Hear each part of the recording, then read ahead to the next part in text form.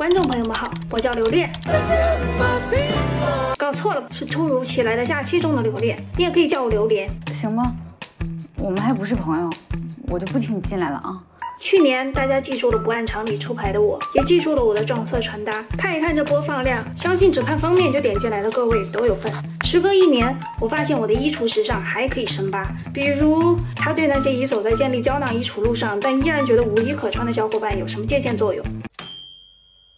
身着黑衣黑裤，脚踩黑靴，正抱着这无处安放的骨灰走在路上的我，在加入了一场意想不到的婚礼后，镜头一转，正式拉开故事的帷幕。蓝、绿、紫、橘这些亮丽色彩的衣服在场景中不仅一点也不抢戏。事实上，从剧情的角度来说，最频繁使用的两种颜色还有它的含义。蓝色与绿色的使用是象征生命力，主创希望传达出一种湿漉漉、蓬勃生长的感觉。到这里也来到第一个问题：胶囊衣橱的主色调。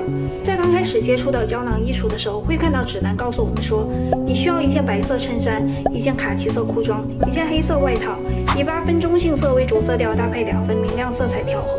不可否认的是，在不知从何下手时，这是极佳的起点，因为大概率讲这是一个适合大多数人的选择。但是之后我们可能会发现，鹅黄因为更贴心，又或是浅浅的粉色才更显精气神的缘故，日常生活中反而这些颜色的基本款更常用。那么这时其实就可以果断调整中性色与明亮色系间的比例。如果观察到生活中其中一种色系使用率确实极高，完全可以以这个颜色为主色调，黑白灰为辅助搭配色系，建立起属于自己的能够搭出万种组合的胶囊衣橱。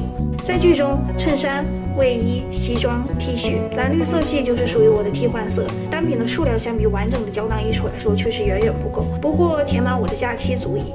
在这段时间，我有了和我性格迥然不同的室友山竹，意外认识了这位艺术家马野，有时会和宁远极限拉扯，同时也不停地陷入与刘敏芝的回忆里。那一年，我是老师口中画画不按要求的小孩，所以只有我的画没有得到评价。他听后并没有责怪我，他肯定了我的天赋，并于隔天来到画室对老师说：“老师，您知道吗？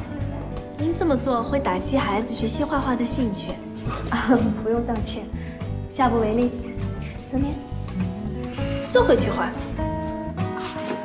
出回忆，我和山竹从便利店走出来，确认过眼神。此时我的装扮还是熟悉的宽肩半裙内搭。你别说，这边的留恋，那边的留恋，时尚品味却有略同之处。到这里就进入有关胶囊衣橱的单品问题。如果回顾全剧中我的衣橱，会发现只要有西装就是宽肩设计，女士搭配的夏装大都是精细短裙或短裤。至于原因，还要从阚清子本人说起，因为这部剧的造型中，她的参与度是非常高的。因为我的末梢还是比较细的，比如说胳膊啊，我就会把自己。小腿露出来，我的肩也比较宽，就把所有的这种西服的垫肩全部都撤掉了。建立胶囊衣橱，从这里可以借鉴到的就是调整。有人爱落肩的慵懒宽松，就有人爱正肩的贴合干脆。所以，即便只是一件 T 恤的肩部细节，也会因为不同人的身形、使用感有不同的利用率。也就是说，落实到所谓经典基本款，或是其中细节部分，是因人而异的。以需求和生活方式为出发点去筛选颜色、款式、材质、剪裁。留下的自然就是真正喜欢、必备且好搭的单品了。说到底，别人与衣物共处的方式，我们自己并不一定适合。同样的，别人的生活对你不一定适合。这是我在最后一集脱口秀上说的话。到这里，我的假期也即将画下句点。山竹要去异地工作了，宁远也要结婚了。我对刘敏芝的思念，在看到路边这盆花的那一刻爆发。最后，我也放下了对父亲的执念。孤独吗？好像是有那么一点。不过总是这样的，也要学着与自己独处。生活不易，但我会更坚强，因为我是 Lady Tough。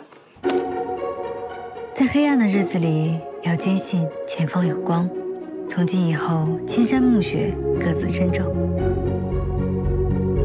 好啦，那今天视频就到这里了。如果喜欢这种类型的内容，不要忘记多多点赞、关注，告诉我。